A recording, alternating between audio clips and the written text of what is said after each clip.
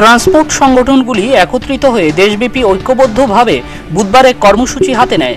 সমগ্র দেশে ত্রিশ থেকে চল্লিশ হাজার স্থানে এই বিক্ষোভ প্রদর্শন করা হচ্ছে। সমস্ত ট্রান্সপোর্ট সংগঠনগুলি একত্রিতভাবে এই বিক্ষোভে সামিল হয়েছে।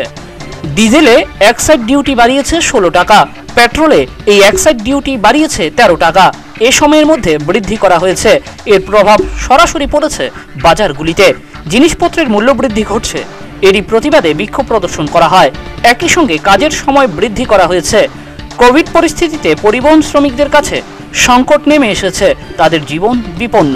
নানা দিক থেকে তাদের উপর আক্রমণ চলছে। এ সমস্ত বিষয়গুলি নিয়ে এদিন সিটুর উদ্যোগে অফিস লেন স্থিত দলীয় কার্যালয়ের সামনে বিক্ষোভ প্রদর্শিত হয়। কিন্তু পুলিশের আগাম অনুমতি না থাকায় রাস্তার পাশ থেকে সরে যেতে বলে।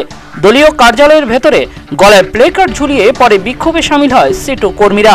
এ কর্মসূচির বিষয়ে জানান সিটু নেতা মানিক দে। আমরা রাস্তা কিনারে দাঁড়িয়েছি স্লোগানও দেবো না সোশ্যাল সামাজিক দূরত্ব বজায় রেখে আমরা দাঁড়িয়েছিলাম। পুলিশ আমাদেরকে এটা করতে দেবে। এই বিষয়ে আপনি কী বলবেন?